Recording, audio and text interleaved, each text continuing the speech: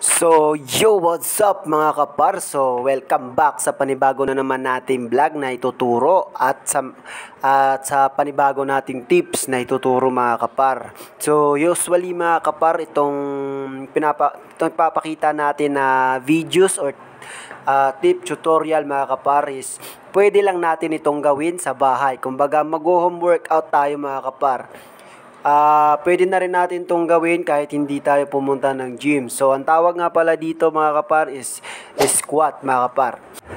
Kaya kung gusto mong lumaki yung legs mo at ma-enhance yung puwetan mo, so pwede nyong gawin ito kahit nasa bahay lang kayo mga kapar.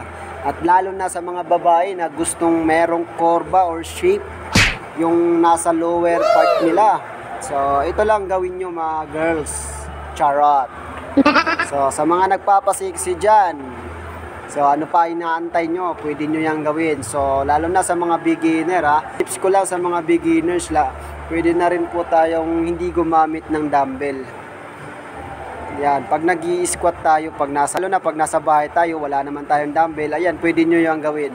So, meron din isang tips para mag squat kayo na hindi kayo kumbaga hindi kayo mahihirapan. Ayan, kung nakikita nyo yan mga kapar o mga girls, meron kayo nakikita dyan sa likuran ko.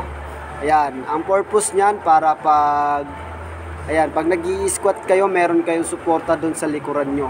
Ayan. Kumbaga, nai-estimate nyo kung hanggang saan lang yung pagbaba nyo. Ayan. So, yun lang.